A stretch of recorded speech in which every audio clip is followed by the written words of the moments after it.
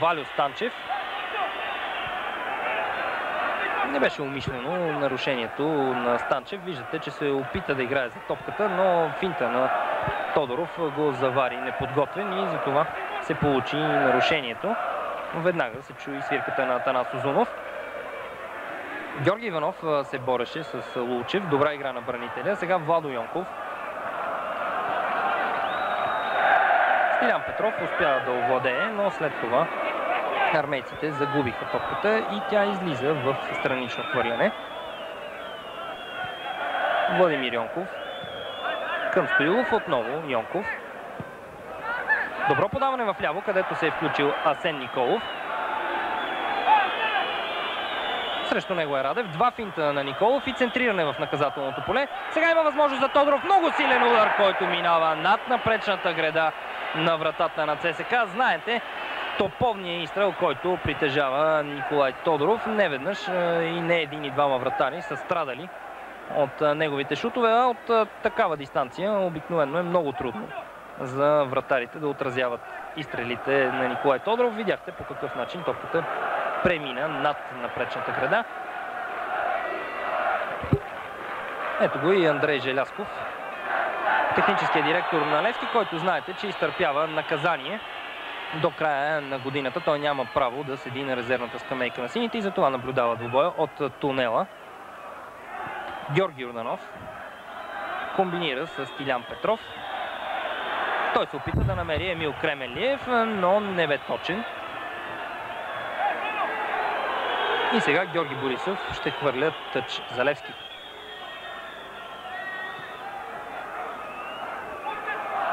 Харковченко подава към Владимир Йонков.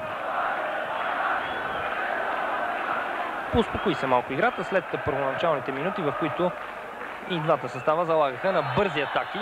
Сега, като че ли вече се търсят е, опипум пространства в е, отбраните на двата състава. За сега обаче головите опасности липсват.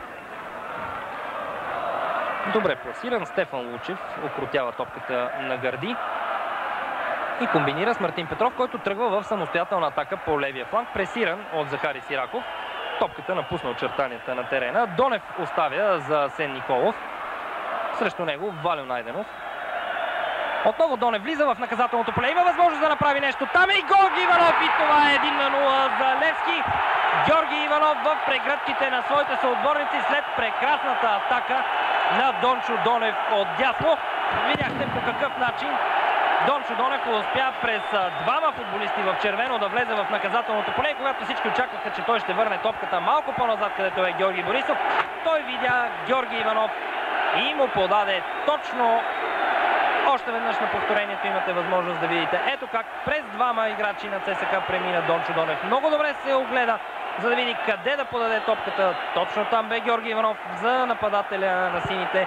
Не остана нищо, освен да отбележи първия гол в а, този добой. Така 13-та минута на срещата. Левски ЦСК 1 на 0 с а, гол на Георги Иванов.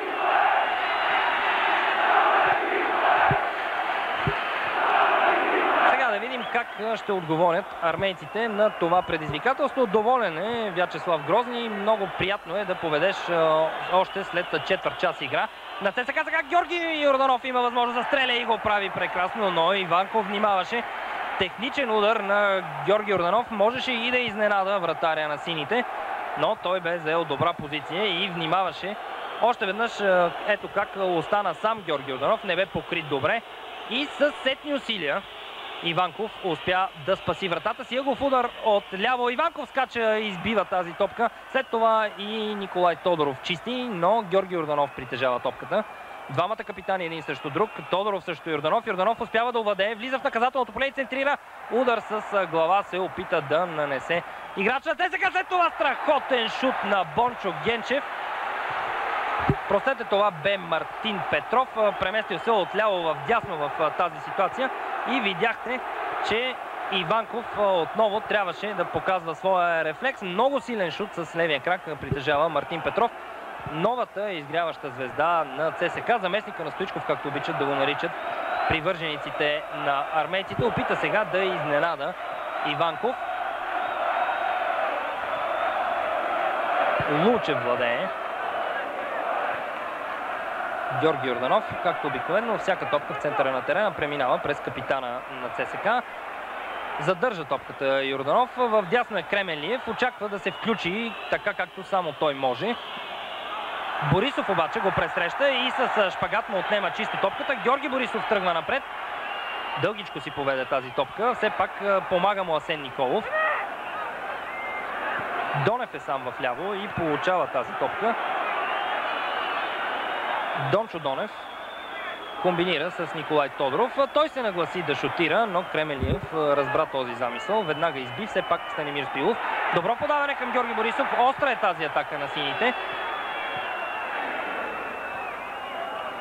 Кремелиев успя да изчисти, но все пак Дончо Донев. Двойно подаване. И сега Николов. Удар към вратата. Топката преминава покрай лявата странична греда на вратата на Ивайло Иванов. Интересен, без никакво съмнение матч. Имаме възможност да наблюдаваме, уважаеми зрители. Изминават 16 минути от неговото начало. Левски води срещу ЦСК с 1 на 0 с гола на Георги Иванов в 13-та минута на двобоя. Вие виждате повторението на удара, който нанесе Асен Николов. А сега топка за Валентин Станчев. Там обаче трима футболисти в синьо го охраняваха много зорко. Станимир Стоилов владее. Подаване за Георги Иванов. Между двама. Георги Иванов успя да финтира Лулчев. След това отново се спира и подава на Асен Николов. Той видя Николай Тодоров и опит за шут от движение на капитана на Левски. По реакцията му можете сами да съдите доколко той е бил успешен. Но вече на два пъти бранителите в червено, като че ли забравят за присъствието на Николай Тодоров пред границата на наказателното поле. Казах вече, много са опасни тези изстрели отдалече на Николай Тодоров. Ивайло Иванов вкара топката в игра. Тя обаче попадна в Георги Борисов, който веднага търси напред Иванов. Не точно бе неговото подаване. И тъч за ЦСК, който ще бъде изпълнен от Емил Кремелиев. Изчаква Кремелиев, няма свободен негов съотборник и за това се забавя. Той сега вече видя Бончо Генчев. Той комбинира с Георги Иванов. Отново подаване за Бончо Генчев. Сблъска се с рефера Атанас Озунов. И за това загуби топката. Владимир Йонков. В дясно тръгва Захари Сираков.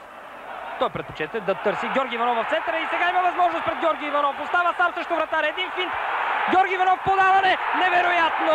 Дончо Донев. Невероятно. Изключително. Просто не мога да повярвам, че Дончо Донев не успя да отбележи този гол. Погледнете как изигра положението. Георги Иванов прекрасно финтира и вратаря и Здравко Радев подаде на Донев. И след това самопожертвователна игра на Ивайло Иванов ще заслужи много висока оценка за тази своя проява. Виждате как с плонж в последния момент спаси вратата си от абсолютно сигурен гол. И така резултата е запазен 1 на 0 за Левски. Станимир Стоилов отново към Георги Иванов напред. Георги Иванов с великолепни изяви до този момент. Не само защото отбеляза гола, но преди минута се убедихте в качествата на този млад талантлив нападател, който играе в абсолютно европейски стил. Рядко срещано явление от българските терени. Централен нападател да притежава всички тези качества. Сега контратака за червените и грубо нарушение на Владо Йонков. Ето го и първия жълт картон в тази среща. Съвсем закономерно Атанас Озунов показва картона с жълт цвят за Владимир Йонков. Видяхте, че действието на Йонков бе извън рамките на правилата и за да успокои страстите, Атанас Озунов веднага показа жълт картон на бранителя на Левски и Валентин Станчев бе човека, който бе повален на тревата. Сега Георги Юрданов има възможност да центрира от този пряк свободен удар и го прави към далечната града. Там е Мартин Петров. Футболе страхотен удар. Спасява в първи момент Иванков. Там се опита да се намеси футболист на ЦСК. Не се получи обаче това и в крайна сметка топката е изчистена от пределите на терена. Всеки момент, вероятно, ще видим и повторение на този много опасен момент пред вратата на Левски. Ето, виждате по какъв начин Йонков попречи до известна степен на Иванков. След това не се получи добавката на армейците. Нарушение отсъдил Атанас Озунов. Той е в полза на Левски.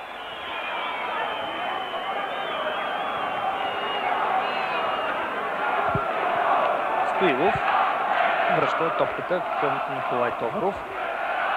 Асен Николов пресиран от Милен Петков и тъч в полза на сините.